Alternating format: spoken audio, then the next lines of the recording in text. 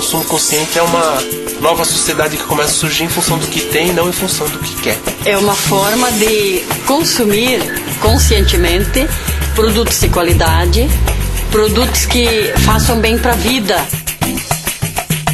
Um compromisso entre cidadãos, o que produz e vende e o que compra e consome. Os consumidores que compram o produto da economia solidária, muitos já sabem a origem desse produto. Este consumo novo aproxima as pessoas. Você olha sempre um contexto mais amplo, não só a mercadoria como um item principal. Sempre eu penso, bom, eu preciso mesmo disso e como é que isso foi produzido, o que foi extraído para que eu tenha isso. Se nós estamos buscando desenvolver uma sociedade sustentável, então há necessidade de pensar num consumo sustentável. Respeito ao meio ambiente e respeito a quem trabalha e a quem consome. Uma escolha além do produto.